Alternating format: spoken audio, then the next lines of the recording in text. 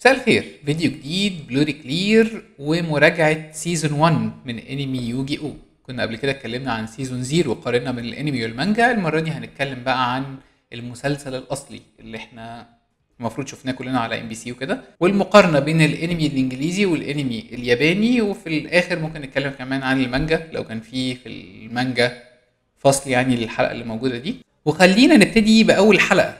اللي عنوانها في الإنجليزي Heart of the Card أو The Heart of the Card أو قلب الورق اللي طبعا فضل يوجي يقولها طول الوقت. الحلقة الياباني كان اسمها مختلف كان اسمها آه، رعب التنين الأبيض. طبعا اسمه مختلف لأن هو كانت بتتكلم بقى عن بداية ظهور التنين الأبيض وكده والحلقة دي على فكرة مش موجودة في المانجا بالنسبة لأول جزء لأن إحنا كملنا على season zero هو كمله من season zero الحلقة دي كانت زي تجميعة لأهم الحاجات اللي حصلت في season zero قبل كده. الماتش بتاع يوجي وكايبا ممكن تشوف الفيديوهات كلها موجودة على ال channel. المهم خلينا نبتدي بالحلقة زي ما قلنا ده اسمها. بتبتدي الحلقة بإن يوجي بيعلم جوي اللي هو جونوشي بالياباني وتريستن اللي هو هوندا بالياباني برضو واقف جنبهم فبيعلموا لعبة ال Duel Monsters وهنا دي أول مرة بنشوفها في الجزء ده بقى. خلاص الجزء اللي فات كان كله ألعاب كتيرة. هنا بيبتدي بقى بلعبة ال Duel Monsters اللي هي اللعبة الرئيسية في الفيديوهات كلها زي ما إحنا عارفين. وتيا اللي هي أنزو بتشرح لهم بقى إنك بتعمل deck من كروت سحر وفخ ووحوش عشان تعرف تهاجم بيها. لغاية دلوقتي الاتنين ماشيين عادي مع بعض. جوي الأول بيلعب وحش هجومه 800 اللي هو Kagemusha of the Blue Flame وهنا تيا بتشرح إن الوحوش عندها نقط هجوم ونقط دفاع. وإن اللي بينقص نقط اللي قدامه للصفر في الأول هو اللي بيكسب. طبعا إحنا عارفين الكلام ده. هنا بقى بنشوف أول فرق بين الياباني والإنجليزي في شكل الورقة. في الأنمي الياباني شكل الورقة موجود كامل زي ما إحنا شايفين كده. شكل الورقة موجود مكتوب عليه بالياباني ليه. في الهجوم والدفاع وال attribute وفي كلام مكتوب اللي هو ال effect أو ال text بتاع ال card. لما تحول الإنجليزي مش حاطين غير الهجوم والدفاع والنجوم وال attribute مش كاتبين حاجة عنه مش كاتبين مش كاتبين ولا كلمة على ال card. تقريبا ده برضو عشان يسهلوا الدنيا على اللي بيشوفوا. مش عارف قوي بالظبط أو عشان ما يقعدوش يترجموا بقى card card. مش متأكد بالظبط عملوا كده ليه. المهم يوجي بيشوف اللعبة بتاعت جوي يقول له آه لعبة حلوة بس أنا عندي لعبة أحسن وبينزل وحش هجومه 1500 ويهاجم عليه.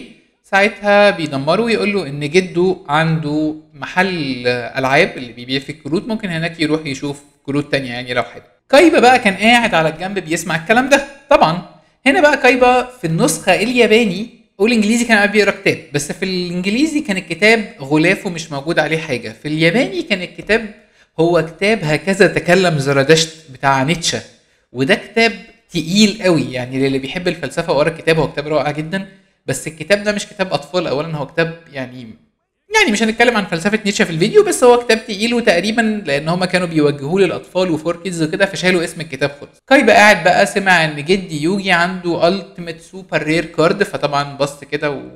وبص بطريقة غريبة. بيروحوا بعد كده لجد يوجي وبيشوفوا الورقة وكلهم بينبهروا ما عدا تريستان بيمسكها يقول معايا دي يعني إيه المشكلة؟ فجد يوجي بقى بيمسك الورقة منه ويقول له إن مفيش غير أربع كروت بس زي ده في العالم وهو معاه واحد من الأربعة دول. طبعا إحنا عارفين بقى مين الثلاثه التانيين إحنا عارفين من قبل كده.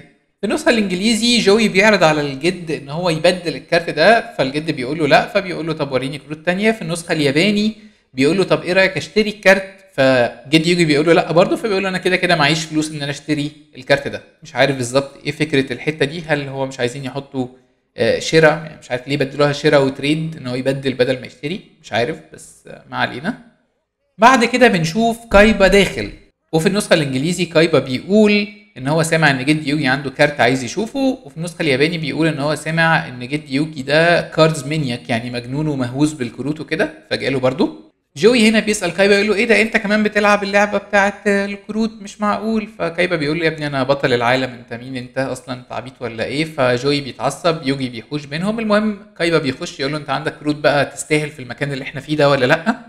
هنا كايبا بيشوف Blue Eyes White Dragon وبيستغرب قوي. فبيقول لجد يوجي إن هو مستعد يشتري منه ال card ده. فجد يوجي بيقول له لأ. وبيقول له إن المشكلة مش عشان ال card نادر المشكلة إن واحد صاحبه اداهوله وهو متعلق بالكارت ده. حتى لو كان كارت عادي كان هيحس نفس الإحساس ناحية الكارت ده.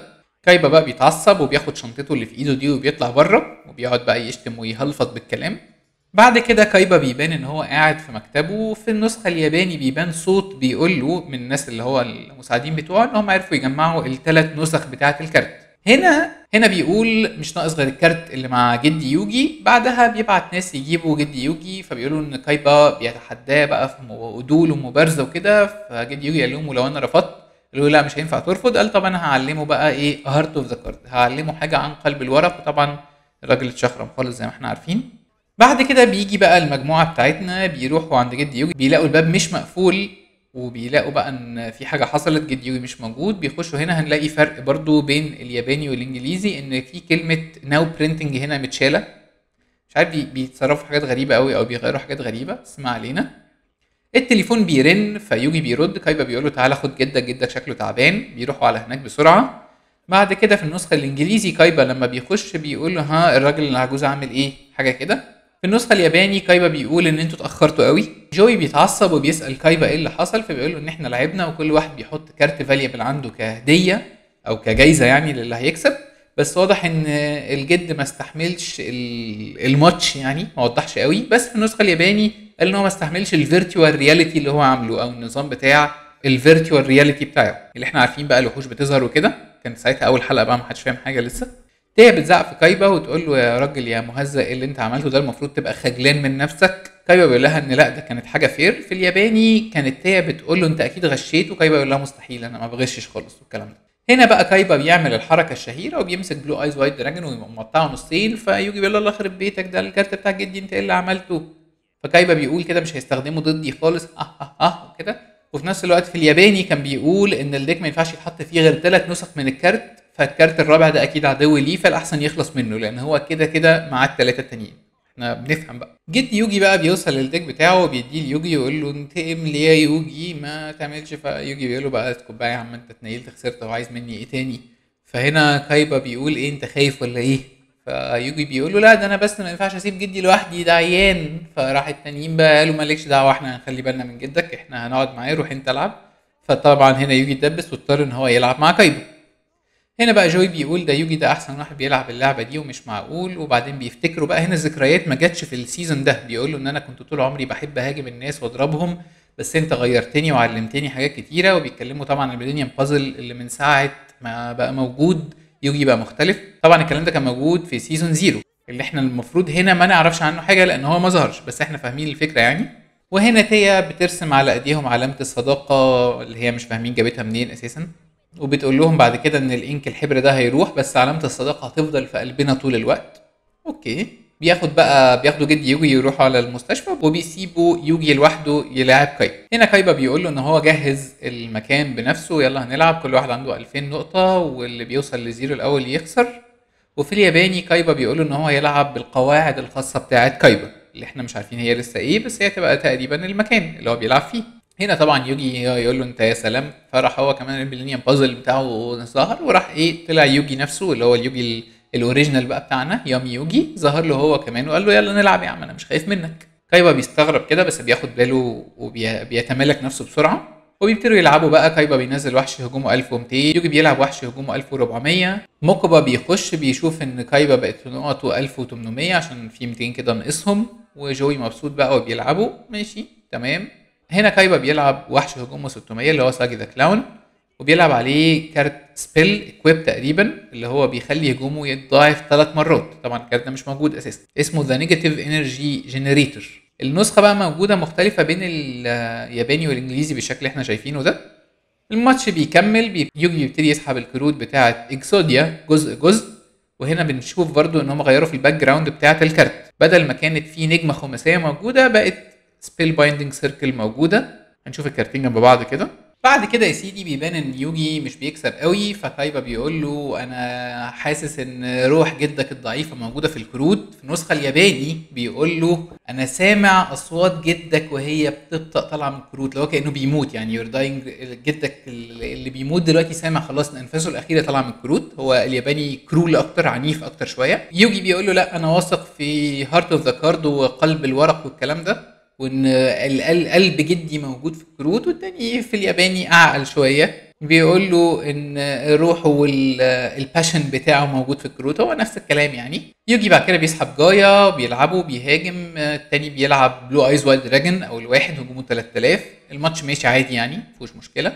بعد كده يوجي بيلعب Swords of Revealing Light اللي هو بيمنعه إن هو يهاجم زي ما إحنا عارفين ثلاث أدوار. فيوجي بيبقى عنده شوية وقت إن هو يعرف يشوف بقى الاستراتيجي اللي هيعملها أو ايا كان. بنشوف طبعا معاه أجزاء لإكزوديا معاه حوالي ثلاث أجزاء وبرده متغير شكلهم زي ما إحنا قلنا خلاص بقى. كل الكروت بيتغير شكلها من الياباني للإنجليزي زي ما قلنا قبل كده. وهنا جد يوجي بيظهر له بيقول له إن الكروت عاملة زي البازل اللي أنت حليته. لما تحل البازل هتعرف تكسب. هنا بقى إحنا أنا مش قادر أفهم بقى هنا يعني هو ما كانش عارف من الأول إن الكروت آه لما يجمع إكزوديا هيكسب لما جده قال له إن هي بازل فهم بقى إن هو المفروض يجمع إكزوديا حاجة غريبة يعني. ما علينا.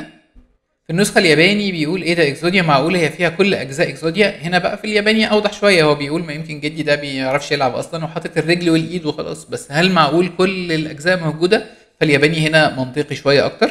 بيكملوا لعب وبعدين كايبا بيلعب Judge Man اللي هجومه 2200 وبعدين يوجي بيلعب Dark Magician بيهاجم على Judge Man كايبا بينزل Blue Eyes White Dragon تاني وهكذا يعني. قاعدين الماتش شغال ما فيهوش حاجة يعني significant مفيش حاجة مهمة قوي. هنا بقى الحتة المهمة يوجي حاسس إن هو هيخسر ما عندوش حاجة تانية هيعملها. يقول يا ترى هخسر ولا إيه؟ وبعدين بيفتكر الإيد بقى اللي تيا رسمتها وأصحابه. وبعدين هنا كايبا بقى بيبص له بيقول له اسحب كارتك draw your last pathetic card يوجي. ها ها ها اسحب بقى كارتك الأخراني المثير للشفقة عشان أكسبك. هنا بقى يوجي بيبص له في الجزء اللي كلنا عارفينه بيقول له my grandpa deck has no pathetic card ال deck بتاعت جدي ما فيهاش pathetic cards هي فيها اكزوديا the forbidden one وطبعا كايبا بقى بيعمل آه مش معقول اكزوديا impossible وبيبتدي يظهر اكزوديا من النجمة الخماسية اللي موجودة اللي اتحولت بعد كده لنجمة مش خماسية نجمة شكلها غريب مش عارف دول كام سن ليها. وطبعا اكزوديا obliterate دمر بقى وامحي اكزوديا بيهاجم الهجوم اللي إحنا عارفينه ده ويوجي بيكسب. هنا بقى كايبا مش مصدق إن هو خسر وبيسأل إزاي ده حصل. يوجي بيقول له إن هو كان المفروض يثق في قلب الورق وفي الياباني بيقول له إن هو هيدمر هي crush الشر اللي موجود جواه وبيقول له mind crush وبيعمل له كده ف mind crush بقى وبيكسر زي ما إحنا عارفين والمفروض إن الشر اللي جواه كده انسحق أو اتدمر أو أي حاجة. وكايبا بيقع على ركبه بقى عامل كده وبعد كده جدي يوجي بيصحى في المستشفى بيقول إيه ده يوجي كسب ولا إيه؟ حاجة كده. وبيبان لنا بقى بيجاسس قاعد ماسك كوباية wine كده و cool قوي واحد بيخش بيقول إن كايبا اللي هو ال champion خسر عن طريق واحد اسمه يوجي فبيقول كده وعينيه بتلمع وتخلص الحلقة. هنا ده كان أول حلقة موجودة في الأنمي الياباني والإنجليزي ومش موجودة في المانجا فمش هنتكلم عنها. فدي كانت الحلقة أو ده كان الفيديو. فيا ريت لو عجبك تعمل like و subscribe و share على الفيسبوك واليوتيوب والحاجات دي والجزء الجاي هيبقى الحلقة الثانية زائد المانجا بتاعتها. بس كده شكرا جدا.